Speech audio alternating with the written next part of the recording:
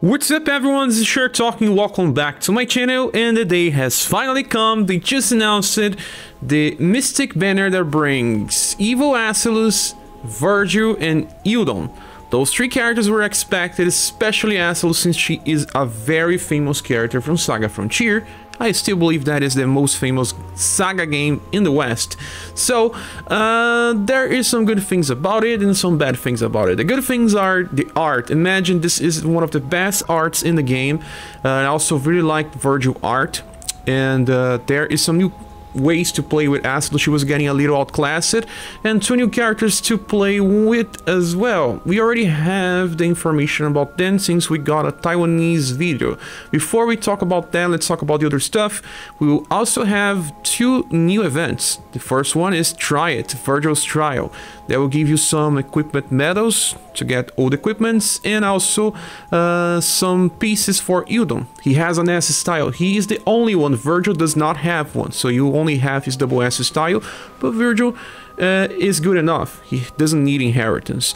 Uh, also, you can see that the status caps are the same as the current conquest, so you can farm this event, and when you finish, you can return to conquest since it's just so easy to farm there.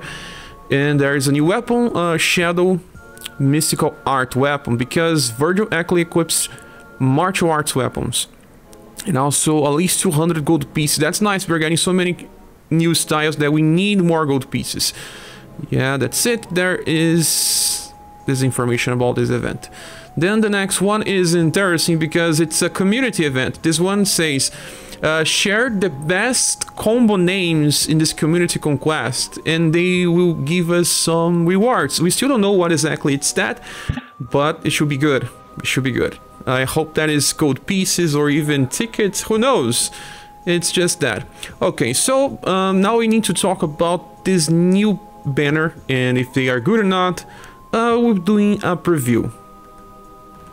Okay, so here we are on Romancing Saga Reddit in a post made by Hans for a tree. Thanks again for your amazing job. Uh, he translated the changes from the Taiwanese video. This is the Taiwanese video. And we already know that Asellus didn't get any change. That's it. Not even a status change. I think they uh, believe that people will summon for her no matter what without changes, but they did to the other characters.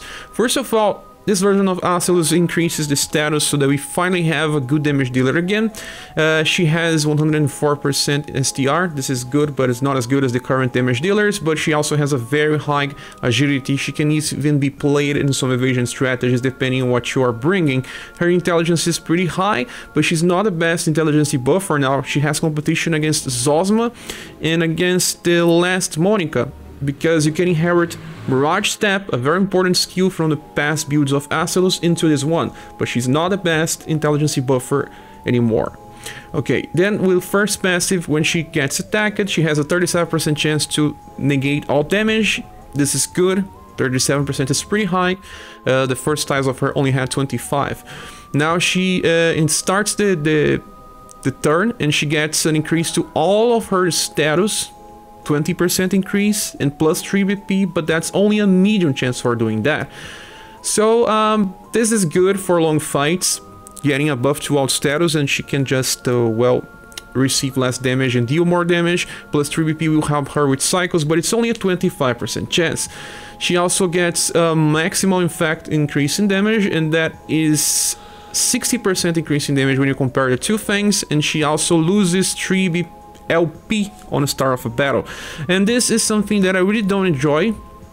Well, depending on the boss fight that you're doing, it would just not need this much. I mean, you just won't die on a fight and it's just losing LP would not matter too much but future characters will be able to reach as much as 60% increase in damage without this thing so I wish they just reduced this to 2 or something but they didn't change that. Right now in the game means that this girl has a lot of stacked effects. She gets 60% increase in damage, she also gets a chance to buff her status more, gets BP, invade attacks. When you see that's a lot of things together, it makes sense that they did this uh, penalty. But in the future, characters will be able to do something similar without wasting LP on start of a battle.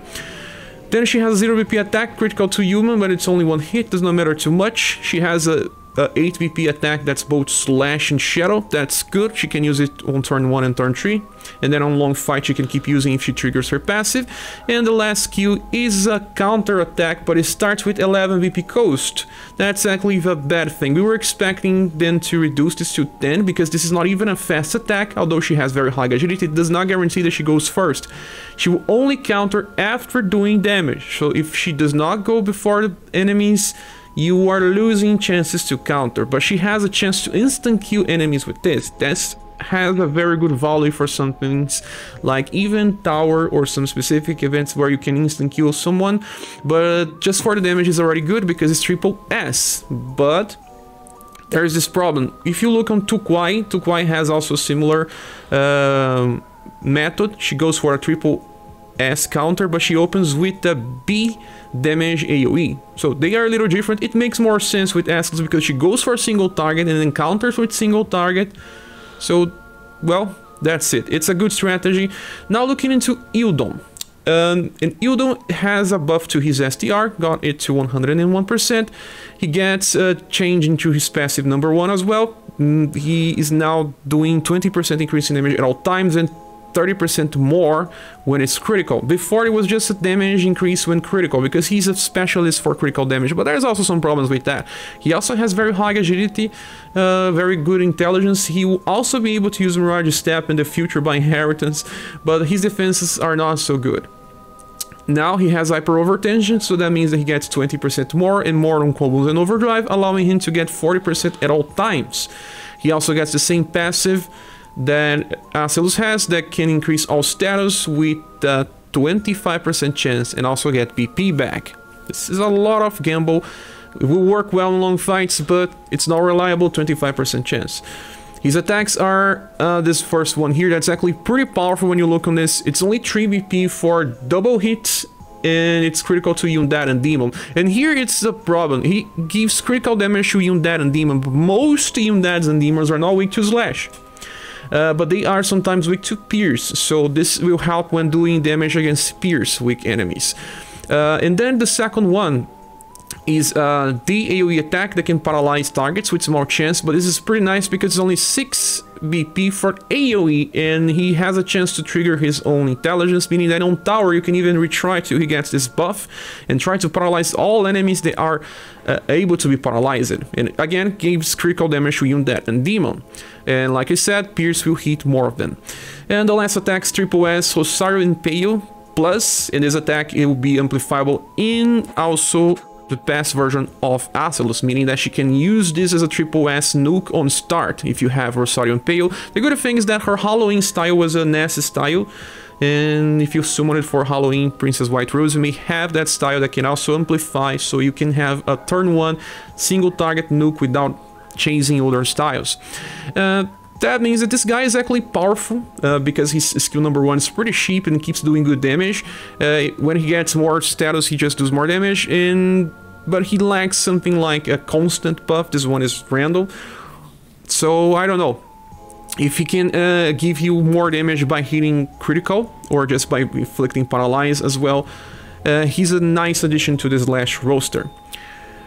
Then we have Virgil, and this guy here is very, very amazing. I have to say that I will be chasing this guy. They made some changes to him, making him better in my opinion. Some people will not like the changes. As you can see, he's a tank, mage. Yeah, 90% endurance, 102% intelligence, that's extremely high. His agility is not high, but it does not need to be. His will is 104%, so he gets top class status for 3. Yes endurance, intelligence, and will, then he gets a good volley for charisma as well. So for passes, we have the first one that reduces direct damage taken by a 37% chance. It will also counter with firework, and this is an AoE heat attack that will also recover 1 BP by all surviving allies. Well, so this is pretty useful if you want to get more BP for characters that have high cost. So it is passive, we can think about different strategies, like reducing the BP cost for characters that have very high cost, like Mirza, Steelblade Light, or Leon, or Gerard.